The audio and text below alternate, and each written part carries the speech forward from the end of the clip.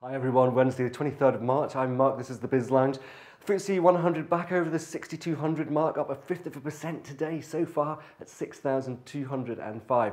The market is showing some real resilience against uh, those atrocious attacks in Brussels yesterday. Now, one of the main FTSE 100 companies helping add to the gains today is Kingfisher. Now, this is the company that you probably know better for its brands. In the UK, it owns the DIY chains B&Q and Screwfix, while my French friends will know it as Castorama, the DIY chain, and also Brico Dépôt.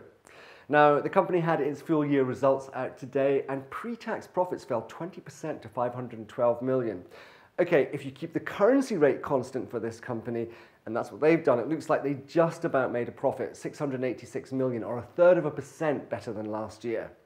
That's not a great gain, but still better than some were expecting. Also, the full year dividend was up an anemic 1% really over the previous year to 10.1 pence per share today. Speaking of the shares, by the way, they're up 3.7% on the back of the results, so the market not too phased by that.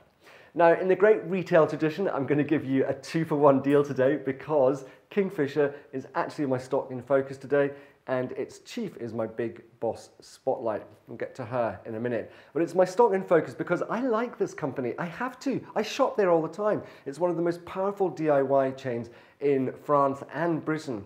Unfortunately, at the moment though, all the growth is really coming from British consumers. The firm saw pretty weak trading in France, to be honest, and it needs to respond to this in order to boost revenue.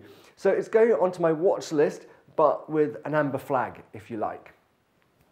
Now, as I said, Veronique Laury uh, is the firm's boss, and she's a former equestrian show jumper, so she must have a competitive spirit and be able to drive this company further into profit. But I have one question for you, Veronique.